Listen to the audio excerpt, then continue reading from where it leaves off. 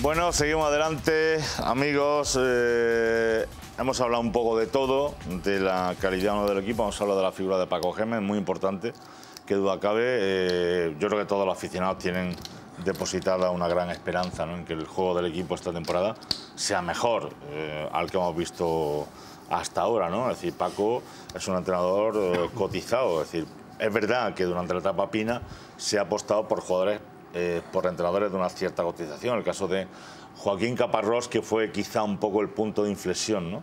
en toda esta etapa. Lo que pasa es que la verdad es que lo de Caparrós salió, no es que saliera mal en Granada, salió peor, ¿no? Y, el, el, recuerdo que tenemos aquí de él, ahora que se está hablando de la selección española, pues no puede ser bueno, ¿no? Y eso no quiere decir que Joaquín sea un mal entrenador. Simplemente que en Granada le fue mal. Porque en el fútbol ocurren esas cosas. Es decir, usted, quizá, ¿cuál fue el gran problema de, de Caparrós en Granada? Pues que el equipo se dice fue un equipo malo. Si los entrenadores, si no tienen buen equipo, los entrenadores no funcionan. Los entrenadores no son, no son, eh, eh, no son agoreros, no, no, tienen una pócima milagrosa para decir, no, usted, deme usted un equipo de segunda división que se lo llevaría a ser campeón de liga. Eso es imposible. Y Caparrós no iba a ser una decisión en ese sentido. Pero bueno, más allá de eso, si ahora se apuesta por Paco Gémez y se supone que a Paco se le va a hacer un buen equipo. Por lo tanto, siendo así, el cóctel debe ser eh, positivo y correcto. Francis. Pero a ver, mm, se conoce a Caparro, incluso te habéis tenido algún eh, interés de, representación en este, en este hombre. A Joaquín le han, ido mal las cosas. La verdad que el recuerdo que tiene la afición de Caparro no puede ser bueno ni mucho menos, ¿no? Hay cosas que son pero, pero es verdad que en su momento se hizo un esfuerzo por intentar eh, mm. tener un proyecto un poco más a medio y largo plazo. Eh, la verdad es que lo ha dicho, creo que a la perfección. Así fue un punto de inflexión. Yo creo que se le echaban en falta dos cosas a Granada, que era un 9 y un entrenador.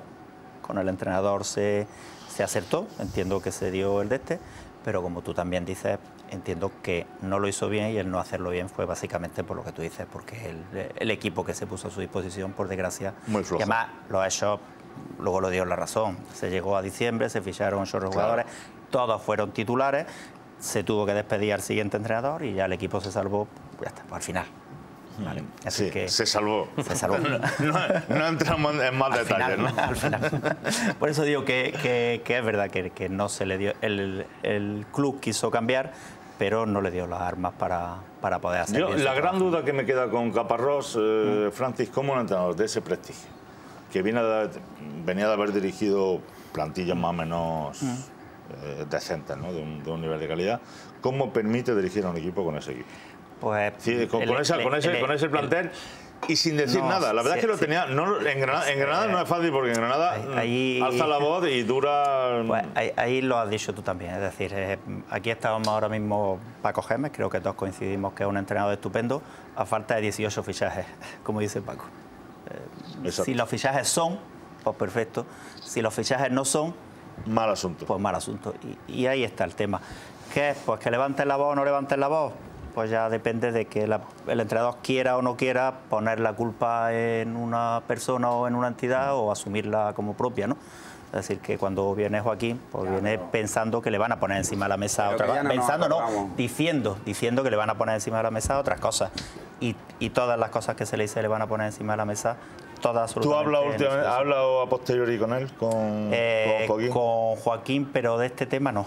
No. Sí, sí he hablado con él, pero... Pero no sé si él está más o menos arrepentido de haber firmado en Granada. Porque él, lleva desde que se fue de aquí y no ha entrenado. Ahora le ha, surgido el tema de la selección española, que evidentemente para él es un buen es una noticia. A mí no me cabe la menor duda que Caparrós antes después iba a volver a entrenar en el fútbol español, no sé si en primera o en segunda, no lo sé. Pues seguramente alguna opción iba a tener en, en primera, pero no sé si él está más o menos arrepentido de haber eh, aceptado aquel proyecto en, Granada. Que yo sepa decir, no, no es un tema de arrepentimiento, es decir, lo haces porque lo haces con una plena conciencia de lo que te están diciendo. Es decir, cuando luego las cosas no son así, pues no, yo creo que no hay un arrepentimiento sí. Mm. Y el no entrenar no es por falta de ofertas de luz. Mm. Ahora lo de la selección, imagino mm. que estará a la espera de que se concrete, de que al final, bueno, pues imagino que será ningún problema. Si sigue Villar al frente de la federación, se parece que mm. Caparrós va a ser el presidente, el, entrenador, ¿no? Eh, ahora mismo está en todos los medios, pero bueno, hay algo que realmente desconozco la, realidad de ese, eh, que sustenta todo eso. Sí, Paco, decías. Iba a apuntar No, algo. no, decía que, que- que- que lo de Joaquín Caparrós no solo que le dieran bueno o mal equipo. A Joaquín Caparrós, la etapa que tuvo aquí, hay muchas cosas que apuntarle que, ya decían que, este hombre, bueno, es que era desde pretemporada, apostando por chavales súper jóvenes que no habían hecho nada en el fútbol y que, eran, y que no estaban ni para la segunda división, eh, empezó a equivocarse en muchas cosas. En muchas cosas, no solo que, eh, oye, es que a Caparrós le dieron un mal equipo. ¿eh? Eh, si nosotros tenemos un concepto de Caparrós que no nos gusta, no solo porque le dieron un mal equipo, él se equivocó en muchas cosas y... Él lo aceptó todo y ya está. Y él, él aceptó hacer alquimia con, con trozos de madera y es difícil. Es que, es decir, eh, yo no sé si al final el producto Paco Geme va a ser o no va a ser bueno, Paco, pero va a depender del equipo que le den.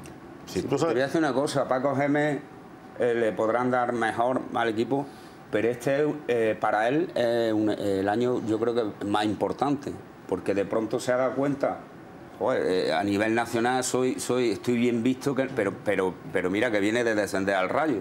Entonces él tiene este año que da un espaldarazo a su carrera diciendo, mira, he cogido al Granada, estamos jugando bien, tengo al equipo arriba y entonces sí, sí, sí, eh, eh, o sea, se juega todo. Eh, no va Mira, a venir aquí como, a mí una como cosa me un está- año más que fichar en cualquier equipo, una no, cosa se me está, juega todo. Una cosa, Paco, me está sonando bien. Es malo para la afición, pues los aficionados queremos ya, o quieren ya, vamos a meternos todos, ¿no? Que estén aquí ya los fichajes, ¿cómo puede ser igual? Y, tiene algo de bueno. Es decir, que están mirando bien, se están pensando muy bien, con mucho cuidado, con mucho detenimiento, qué es lo que se ficha. Así que no vale cualquier cosa. Si se está analizando, se está buscando, rebuscando, esperando la mejor opción para decir, ese es el que tengo que traer, porque es el mejor que tengo. y ¿no? que ya se ven criterios. Yo no he escuchado a ningún entrenador que de estos últimos años decir, oye, a este, a este jugador que tengo aquí no lo quiero, porque no me vale técnica ni físicamente. Ya llega este hombre y había, ya hay dos o tres jugadores importantes en la plantilla que no los quiere. Por ejemplo, Rubén. Mm. Rubén Parece, parece que no. no, no, a Rubén Pérez eh, eh, no lo quiere. Eh, Es, es la primera vez que escucho a un entrenador en Granada decir que no quiere a un jugador y además un jugador que parece importante. O sea que ya los criterios deportivos. Y de cara a los están- fichajes parece que también se está, vamos, por lo menos por lo que se veía en las noticias anteriormente, pues se está haciendo con cierto criterio, ¿no? Obviamente era una, era una cosa clara que hace falta un lateral izquierdo, porque vamos, ha sido de vergüenza este año ese, No, no, el, esa equi- posición. el equipo se ha quedado sin laterales, ni izquierdo ni derecho, no tiene. Pero bueno, aunque se hubiera quedado, Mm. era una cosa que es que era, eh, vamos, era cantosa lo del el Viragui este. Entonces, eh, a mí, por, ejemplo, también me ilusiona no solo los nombres que están sonando, sino que se está haciendo con cierto criterio de decir, bueno, vamos a montar el equipo, aunque sea un 11 o un 14, y después ya veremos. Antes simplemente era traer un saco de jugadores, y eran huevos Kinder la mayoría. Te podías encontrar el juguete que quieres o no. Y así ha pasado, yo creo que con Caparrós, estoy de acuerdo contigo, pero creo que a Caparrós, como no había planificación, se le hizo un equipo muy poco trabajador. Y un entrenador como Caparrós exige mucho trabajo. Y creo que lo que intentó al meter a los jóvenes de primera fue, No, no, escucha, tú pero- te lo pero- estás currando, tú lo vas a salir, porque que- la gente que estaba ahí... Pero que Caparrós ha tenido buenos jugadores en todos los equipos por donde ha ido. ¿eh? Es decir, eso es decir, no hay Caparrós es un tío, sí, de un juego así un poco más rocoso y tal, y torea con cualquiera, ¿no? Perdón, es decir, que, que es que Caparrós ha entrenado. En este país ha entrenado al Sevilla con buenos equipos, al Deportivo de La Coruña con buenos equipos, no en el mejor deporte, pero más o menos con un equipo decente. Sí, sí, sí. Eh, Atlético- al Atlético con un muy buen equipo. Atleti de Bilbao, pues ¿para qué te voy a decir más? Pero la, que bueno, la etapa el del Levante no fue el peor Levante. Otra cosa es que con equipos normales ha obtenido buenos resultados. Eso es cierto, por eso el prestigio de Caparrós. Pero Caparrós no ha hecho... Sevilla lo coge en segunda y no, Vale, con, correcto. y no con plantilla de a base de talonario, Pero, que fue una época... no es el. Eibar, quiero decir No, no, que es correcto, pero... Coge que- equipos que- de que- una media que fue zona, ¿no? Bilbao lo coge en crisis, creo que todos somos conscientes de ello, es decir que... Pero bueno, No, si él tiene no una buena trayectoria, por- quiero decir con esto, quiero decir que no, que, que no le han dado un, un Leganés o un Eibar y ha hecho de ahí, ¿no? Es decir, que, que Caparrós ha trabajado con, con equipos, bueno, de una mínima categoría, Pero ¿no? hay una de un diferencia mínimo nivel, ¿no? Entre Caparrós y este hombre y Geme hay una diferencia de golpe. Caparrós vino a hacer un buen contrato ya en el CENI de su carrera y le daba igual, exactamente igual, lo que no le daba igual porque a ninguno le gusta perder, pero no es igual. Paco Geme viene diciendo lo que quiero y lo que no quiero. No me gusta Babín, no me gusta Rubén Pérez, no me gusta esto, no me gusta lo Sí, otro. pero a mi proyecto, perdóname Paco, le va esto, esto, esto y esto. Y eso es lo que está entorpeciendo un poco el tema fichaje, porque no le vale cualquier fichaje.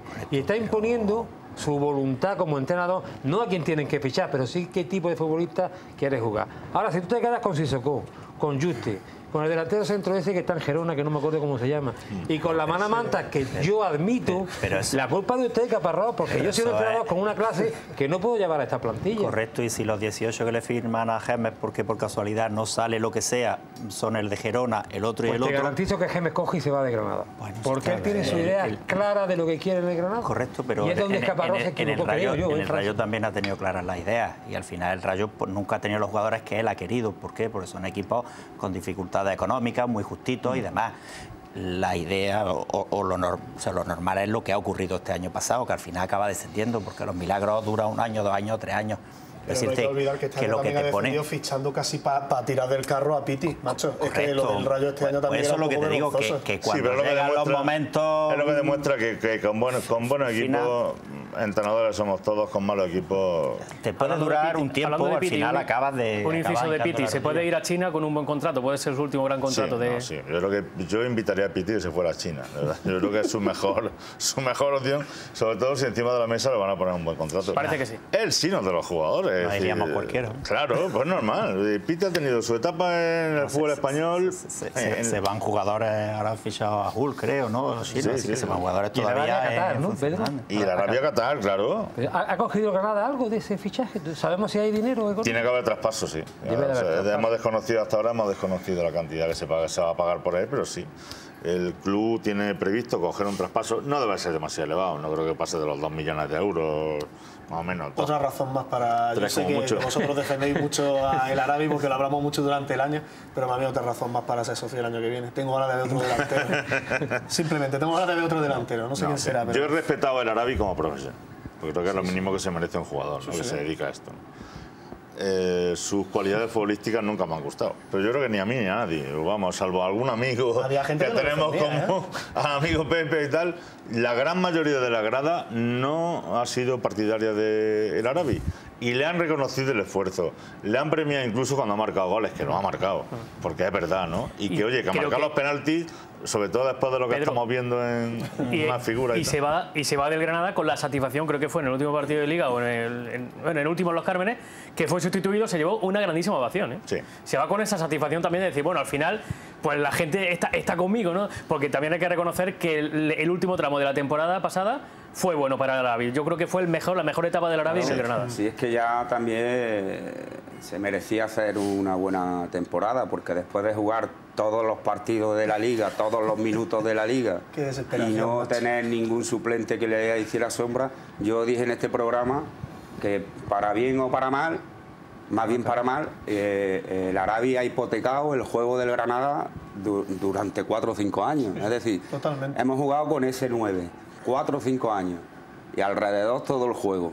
O sea, es que no había variante. No, no, era el Arabi y 10 Y más. diez más. Pero, y para que Y veamos, diez o sea, más. de hecho era el Arabi. y Si diez tenía más. baches, si estaba mal, si no hacía un gol nunca, daba igual. Jugaba el Arabi y entonces llevamos cinco falta, años viendo, viendo al Granada con este ponía- delantero. ¿no? Se ponía a Ricky de extremo izquierda con 39.000 años ya que tenía el pobre y nunca habiendo sido rápido. Es decir, esto era el Arabi. Pero es que a, a Ricky lo hemos retirado aquí del fútbol sin haber hecho seguramente ni un solo mal partido. mismo Porque, Higalo, que claro, que estaba siempre de jugando fuera de su... mismo Higalo, toda la ida y venida de Higalo Claro. en el Granada ha sido porque no, no podía encontrar titularidad con, con este. Y ha sido de nuevo demostrado otra pena absoluta, porque ahí teníamos un jugador pues, más que interesante, creo yo. Ese es un enigma que habría que analizar porque los 7 8 entrenadores que ha tenido Granada en primera siempre han puesto al Arabi por encima de, lo, de la competencia que Porque tenía. tira muy bien los penaltis, no falla. Bien. Algo habría ahí. No, Será la se, excusa, se llegó a decir que, que era un jugador franquicia y que había que ponerlo sí o sí. Se llegó a decir porque costó un dinero, porque se le iban a perder dinero si no jugaba. Se ha llegado a decir tantas cosas, pero lo cierto es que No, era una apuesta de Pina, así de claro. Una apuesta de Pina y Pina, pues, eh, no sé si premiaba más o menos el que el Arabi jugara, pero es verdad que si tú sabes que a tu jefe le gusta que una cosa ocurra, pues tú seguramente fuerzas un poco la situación para que eso suceda, ¿no? Y a partir de ahí, pues bueno, si además ya el club obtendría algún beneficio, ¿no? Es decir, el caso es que, que efectivamente eh, este era un Granada... jugador que luego como trabajaba tanto en el campo y tanto Pues oye, los entrenadores siempre un jugador Y luego, ha tenido, y luego ha tenido un es comportamiento que lo daba ha- todo, ¿no? ha tenido un comportamiento fuera del campo Muy bueno. eh, muy bueno. Entonces eso también se ha premiado, sobre todo cuando ha habido otros que no lo han tenido. ha sido no un poco apostado- ejemplo de compañero. Correcto. Que no se ha apostado es- por un 9 de verdad. Es el típico, es el típico delantero que gusta a muchos entrenadores por su trabajo, por su esfuerzo, etcétera, etcétera, pero que gusta poco a los aficionados. Total. Eso pasa con otros. Pero mira, el año pasado, yo estoy de acuerdo contigo, hizo su mejor cuarto de final de temporada, el mejor del Arabi de, de los cuatro años que ha estado aquí. Pero antes, anteriormente, es que había partidos que es que no estaba jugando en el campo. Y Peña Aranda, que era un 9 con un futuro esplendoroso, sentado en el banquillo. Entonces yo entiendo que el último cuarto de liga, que sí lo estaba haciendo bien, estuviera Arabia ahí. Ahora que está hablando de Peñaranda, Paco, quiero decir una cosa. No sé si hasta leído o no esté de acuerdo conmigo. He leído alguna declaración de Peñaranda respecto de que él no tenía muchas ganas de volver a Granada. Si eso es así, yo invito a los actuales dirigentes que no vuelvan a intentar lo de traer a Peñaranda, sinceramente.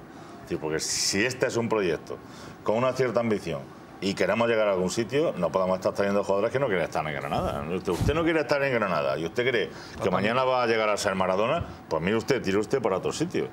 ¿Usted no quiere estar en Granada? Pues Que no te quepa duda que Ya Paco está, Gémez, claro. si este jugador no tiene, como tiene- dices tú, mucho Paco no interés. No, no, pero es que se sigue intentando, no le- se sigue intentando lo de la cesión de Peñaranda. No se ha conseguido con Sánchez eh, porque tampoco el juego estaba muy convencido y porque parece que ahí tienen otros otros horizontes. Creo que tampoco en el Granada se ha hecho mucho hincapié en el tema de Sánchez, fundamentalmente por el asunto de la vida privada de este, de este jugador.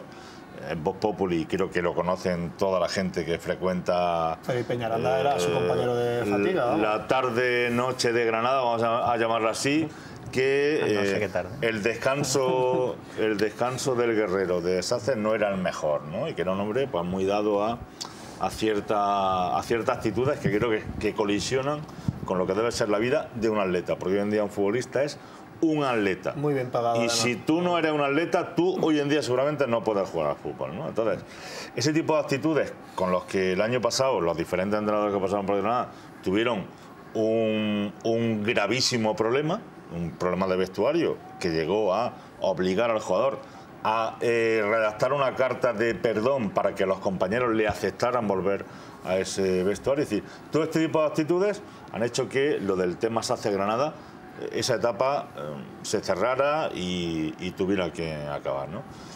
El caso de Peñaranda no es así, pero este jugador tiene una ambición y unas miras que parece que no coinciden con el proyecto deportivo de Granada. Pues siendo así, yo directamente desistiría de traer al futbolista. ¿no? Pues depende de cómo se vayan completando el resto de fichajes y el resto de, de personas que lo hay.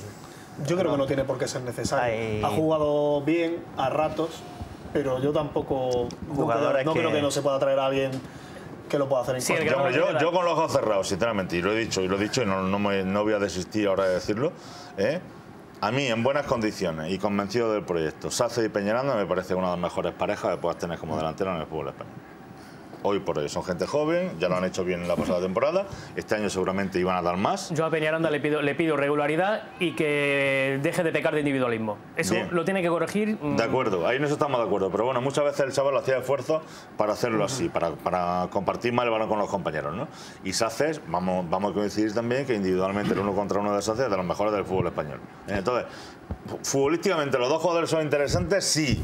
Ahora, tiene que corregir muchos aspectos para ser jugadores cómodos, que se acepten tranquilamente en el vestuario, pues también. Entonces, si ya tenemos problemas con uno y empieza a generar problemas el otro, pues yo creo que es mejor tirar para otro Yo sitio. como simple abonado lo tengo muy claro, como abonado. Yo no quiero un futbolista aquí, que ya estoy harto de oírlo. Mi ilusión es jugar en el Atleti, mi ilusión es jugar en el Barcelona, mi ilusión es jugar en el Valencia. Mire usted, vestir el escudo de Granada para mí, que soy granadino desde pequeñito, granadino, no, granadinista. Granadino soy, gracias a Dios, desde que nací. Pues a mí me duele. O sea, su ilusión es jugar en primera división con el Granada. Usted no puede venir diciendo, mi ilusión es irme o mi ilusión es quedarme. Yo estoy de acuerdo con Pedro. Si tú no estás plenamente identificado con el proyecto y no estás plenamente de acuerdo en que este es el mejor equipo para ti ahora, no venga. Y no lo intentéis, porque estamos ya muerticos de futbolistas problema. que vienen a lucirse y no a servirle a Granada Club de Fútbol. Era un problema del modelo anterior, creo yo. Es decir, ahí había un descontrol además de vestuario que era claro porque los jugadores sabían a qué venían y, Y venían a hacer unos cuantos buenos partidos Ese y de hecho a exigir el cambio. O sea, es que no venían aquí a nada. Por eso hablaba yo de esencia, ¿no? Un poco. Proyecto. Y los aficionados veíamos que no, que no había ningún jugador que fuera a pelear. Te ponía a pensar quién iba a pelear por Granada. Fran Rico. pues lo, lo pelearía, pero con su estilo pues tampoco es un tío que vaya a llevar la bandera Bueno, de Granada. amigo Manolo, hemos vuelto, te vas a Estados Unidos, mm, pásatelo bien, ¿eh? Eh, dime a ver cómo va la cosa con Te Obama, con Obama y todo ahí. eso, ¿vale? Y hemos venido del primer fin de verano, de verano realmente, del primer fin de semana de verano, este primero de julio, sin grandes novedades en el capítulo de fichajes, pero esperamos que pronto las haya y que esta sea una semana prodiga en, en nuevos nombres y en empezar a conocer realmente qué equipo va a tener esta temporada el Granada. Amigo Francis Bueno, me alegro mucho de verte. Igualmente. Eh, vamos a ver ese trabajo de cantera, a ver cómo lo articula este nuevo Granada. Ahí está también, yo creo que bien. Manolo, te deseo un buen viaje. Amigo Paco. Buenas noches. Que sigas bien, Pacorro. Buenas noches. Me alegro mucho de verte. La Torre nos marchamos hasta Sí, mañana. hasta mañana. Que ya nos irás contando qué novedades tenemos. Esta semana habrá- esta semana habrá novedades. Nuevo proyecto de Jan Lizán, el manate chino que es el nuevo propietario del Granada. Muchísimas gracias, amigo. Buenas noches. Hasta mañana.